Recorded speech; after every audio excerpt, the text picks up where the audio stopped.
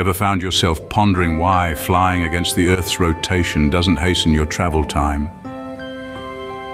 It's a question many of us have asked during long-haul flights as we gaze out the window at the seemingly slow-moving world below. It might seem logical that if the Earth spins from west to east, flying east to west should be faster, right? Well, not exactly. This common misconception is a fascinating example of how our understanding of Earth's rotation and its impact on flight times can be, well, a little off.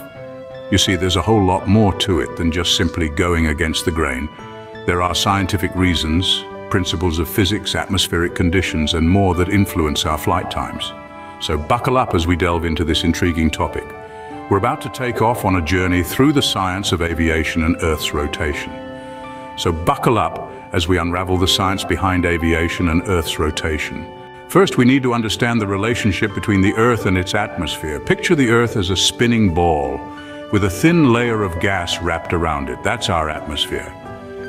Now, if the Earth spins, does this gas layer stay still? Not at all. The Earth's rotation and the atmosphere's movement are intertwined like two dance partners moving in unison. This synchronized dance means that the atmosphere moves in lockstep with the Earth's surface. So if you're standing still, you're actually moving at the same speed as the Earth's rotation, and so is the atmosphere around you. Now let's talk about planes. They do their flying within this moving atmosphere. So when a plane takes off, it's like a runner on a moving treadmill.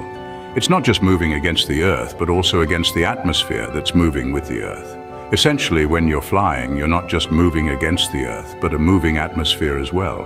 Now that we know about the Earth and its atmosphere, let's delve into the science of air travel. It's all about these four fundamental principles, lift, gravity, thrust, and drag.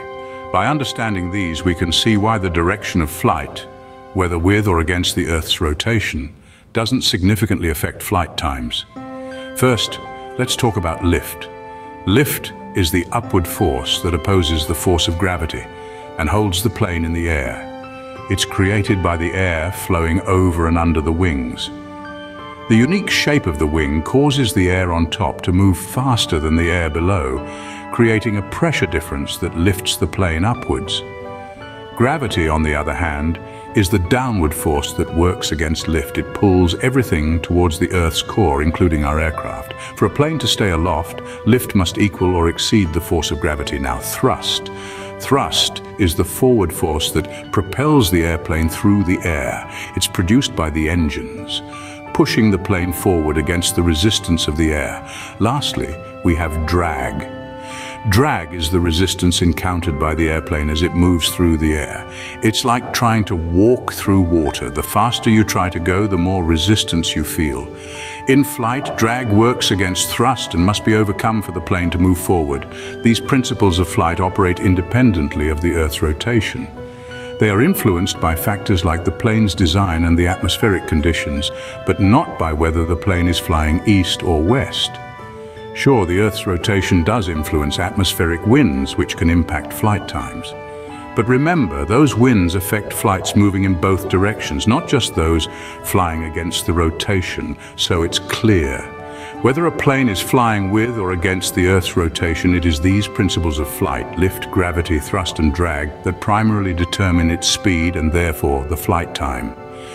The plane's speed is determined more by these principles of flight rather than the direction it's flying relative to Earth's rotation. So why does this misconception persist, you might ask? Well, it's all about perspective. You see, the idea that flying against the Earth's rotation could speed up flight time is a common misunderstanding, born out of our everyday experiences. We experience things moving relative to us, not the spinning Earth beneath our feet. This leads to a natural yet mistaken assumption that if we fly against the direction of the Earth's rotation, we could reach our destination quicker. However, as we've discussed, the science of air travel tells us a different story. The Earth and its atmosphere move as one, and aircraft fly within this moving frame of reference. The principles of flight, including lift, thrust, drag, and gravity, together with atmospheric conditions such as wind speed and direction, play a much greater role in determining flight time. So next time you're on a flight, remember it's not the Earth's rotation that's affecting your flight time, but the principles of flight and the conditions within the atmosphere.